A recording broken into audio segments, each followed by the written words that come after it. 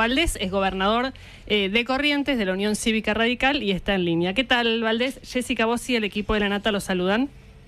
Hola, ¿qué tal? Buenos días. ¿Cómo te va? Bien. Eh, ¿Qué opina de todo lo que pasó? Ya no sé ni por dónde arrancar, porque es tanta la, información, pero al, a esta hora va a haber una reunión, no sé si usted va a estar o no presencial o por sumo lo que fuera, de los gobernadores que firmaron el dictamen, que ahí hay de todo, hay de Juntos por el Cambio y algún peronista, eh, para tratar de encauzar y que mañana finalmente se vote parte de lo que originalmente era la ley ómnibus sin el capítulo fiscal, como se lo denomina esa serie de artículos. ¿Cuál es su posición? ¿Usted cree que mañana tiene que sesionar la Cámara de Diputados y tienen que aprobar esta iniciativa? A mí me parece que hay que acompañar la iniciativa del Poder Ejecutivo. La gente votó un cambio, nosotros propusimos un cambio y tenemos que acompañar y podemos en líneas generales estar de acuerdo. Hay algunos aspectos que nosotros Veíamos que en algunos casos tienen que ver con el condimento fiscal, en otro caso con el condimento político, pero la ley se fue trabajando. Y hubo un trabajo intenso de nuestro bloque, fundamentalmente de la Unión Cívica Radical. Creo que hoy estamos en condiciones de, acompañar la ley. Creo que hoy en la Argentina eh, se está dividiendo de manera diferente. Hoy está entre los que no quieren que avance nada en la Argentina y dejar a la Argentina estancada en esta situación hay en el medio una fosa de profundidades realmente incalculables y del otro lado los que quieren cambiar la Argentina porque de esta manera la Argentina no puede seguir.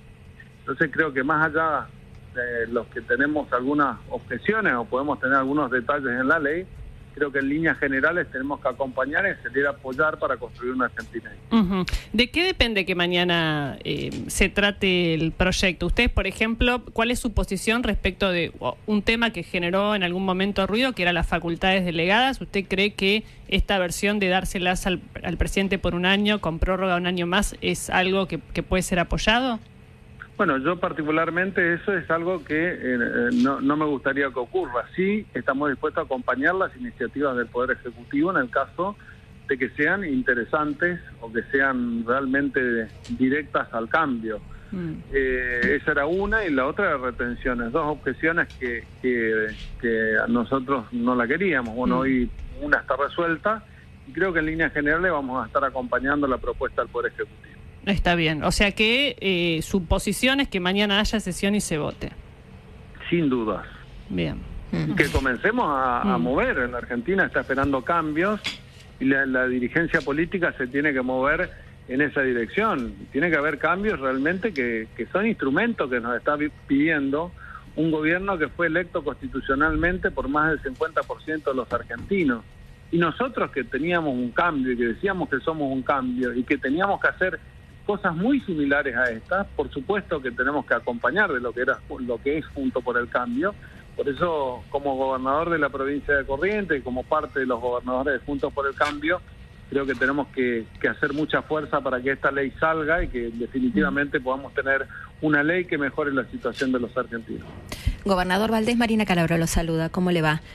¿Cómo le va? Muy bien. Recién estábamos hablando con Marina Dalpolleto y ella hacía el punto en relación a la situación fiscal de las provincias, hablaba de la merma en la coparticipación, bueno, en esta posición del gobierno de eh, llevar a su mínima expresión todo lo que es transferencia discrecional, ATN, etcétera, y, planteábamos un poco cómo esto complica las cuentas públicas de cada una de las provincias, que entiendo que son situaciones muy individuales, que no, no podemos generalizar, ella hacía el foco en la provincia de Buenos Aires, salió también el caso de La Rioja. Mm. Le quería preguntar por su situación, la situación de Corrientes.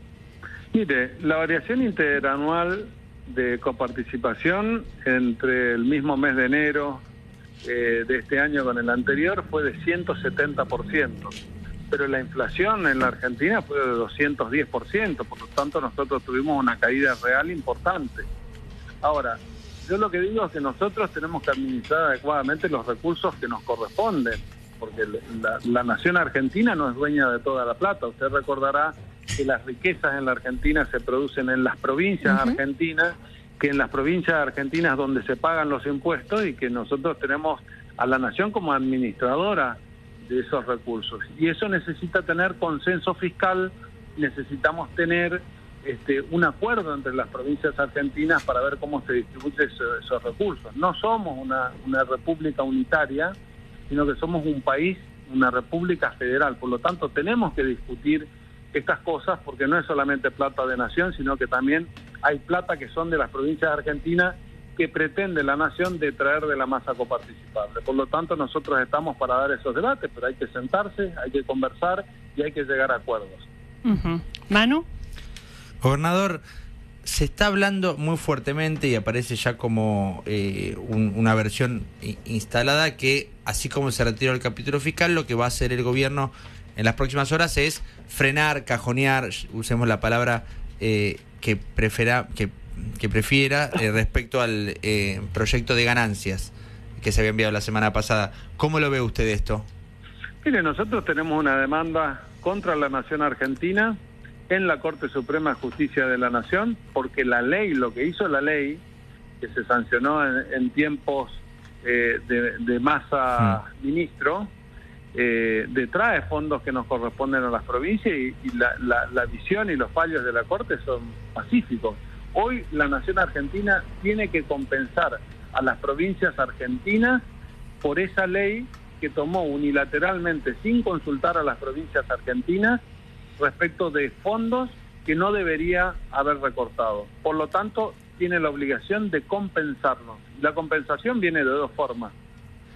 O restituyendo la ley de ganancias, que ahí va a compensar a las provincias argentinas, pero la nación se va a quedar con el 40% más, o de alguna manera tomar otro impuesto para que sea equivalente, para que no retraer de las provincias argentinas de la masa coparticipable. Y es fallo de la Corte Pacífica, que fue la última cuando asumió Macri que había fallado la Corte. Nosotros hemos demandado sin saber quién era presidente. Y le va lo mismo para mi ley y le va lo mismo para Sergio Massa. Dijimos que era inconstitucional y que perjudicaba al federalismo y lo vamos a seguir sosteniendo ya eh, vía judicial como lo venimos haciendo y ojalá que salga a favor de las provincias de Argentina. Mientras tanto, seguramente el gobierno nacional discutirá cómo nos compensará o no, pero nosotros vamos a avanzar con la justicia. Ahora, gobernador, usted habla de, la compensación que se tiene que articular y en el mientras tanto, ¿cree que, puede tener algún, algún problema financiero? Nosotros terminamos con equilibrio fiscal el 2023 y mire que era difícil, tuvimos una caída fuerte en diciembre. Ahora, eh, por más de que nosotros tengamos equilibrio fiscal, si en la República Argentina no bajamos la inflación, que somos el país con más inflación en el mundo, no comenzamos a mejorar la pobreza y no comenzamos a tener indicadores razonables para que se puedan establecer empresas, yo creo que va a ser difícil salir adelante. O sea, lo primero es la inflación y el equilibrio fiscal. Valdés, ¿cómo le va? Cecilia Uflet lo saluda. Ahora, em, más allá de eh, la resolución de la Corte eh, y demás, em, ¿ustedes van a pedir formalmente eh, algo, pueden hacer una propuesta formal los gobernadores al gobierno de em, instrumentar el impuesto a las ganancias? ¿Tienen un proyecto propio de modificación de, impuestos o de reforma tributaria que, que presentarle al gobierno? Mire, cómo se cobran impuestos nacionales es una decisión del gobierno. Ahora, cuando de la masa coparticipable detraen recursos, también es una facultad del gobierno de compensar a las provincias argentinas. Nosotros estamos abiertos a cualquier solución. Hemos sugerido eh, al gobierno nacional cómo se puede compensar, pero bueno, va a ser una decisión del gobierno. Mientras tanto, esperamos y las demandas en la Corte siguen corriendo. ¿Esas sugerencias que son? ¿Subir el impuesto país o coparticipar en el impuesto país? no, no es subir el impuesto país, que el impuesto país represente la compensación que nos detrajo del impuesto a las ganancias. Mm. Entonces, que nos, que nos den eso que hoy es únicamente nacional, porque la, la, nación es, es, complicada, genera impuestos y recauda solamente para la nación. Mm y ponemos todos los ciudadanos de las provincias, somos los que tenemos que poner la plata para que la plata sea solamente para la nación. Y tuvieron una y tuvieron algún tipo de feedback. de exportación eh, son todo para la nación argentina y no son para las provincias argentinas. Es decir, nosotros nos partimos trabajando para producir en nuestros territorios y de todo lo que se exporta no nos toca un solo peso. Mm, eh, dos cosas le quería. Una, decir que eh, parte del impuesto país tiene una afectación específica que es para programas de vivienda en las provincias. Eso por un lado, de alguna manera se transfiere, pero en, modo de una afectación concreta. Y el otro punto es si ustedes tienen algún tipo de... Em, de respuesta por parte del gobierno respecto, respecto de lo del impuesto país, que creo que es, es clave y que puede haber novedades respecto de la justicia, porque hay toda una discusión de si corre para el año que viene o no a partir de una resolución de AFIP el gobierno puso en una de las versiones que fueron y vinieron de, borradores y finalmente quedó en el dictamen una aclaración de que está vigente para el ejercicio 2024, algo que se cuestiona en la justicia. Por eso digo, si no se aprueba en el proyecto, y esto sería un escándalo y un golpe muy fuerte para el gobierno, puede la justicia voltear, si quisiera, el impuesto país ustedes, teniendo en cuenta esta situación débil que le, deja al gobierno esta, este cuestionamiento de ese impuesto, ¿Tienen alguna respuesta respecto de la coparticipación? Que eso le daría más apoyo a la hora de votarlo en el Congreso de la Nación al propio oficialismo.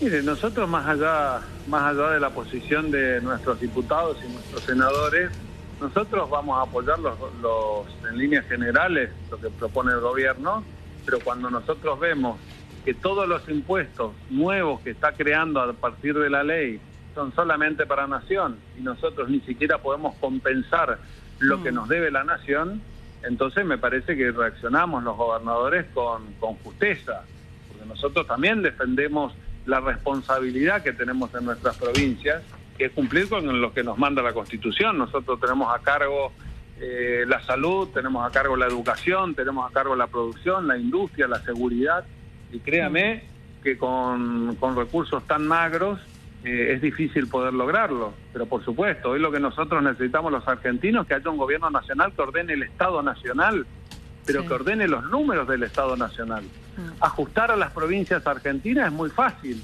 pero no son los recursos. Es como yo pretenda resolver todos los problemas que tengo en la provincia de Corrientes solamente con los recursos que le corresponden a la nación. Así ajusta cualquiera, así ordena cualquiera el Estado, pero necesitamos tener un diálogo para poder realmente cambiar a la Argentina. Yo estoy del otro lado de la fosa. Estoy del otro lado del lado Menos mal que no está en la, fosa porque tiene que cambiar. Gracias, gobernador, por la comunicación. Gustavo Valdés, gobernador de Corrientes. Bueno, eh, uno de los gobernadores que ya dice antes de la reunión incluso, mañana hay que sesionar y hay que aprobar este proyecto. Ceci, te quería preguntar dos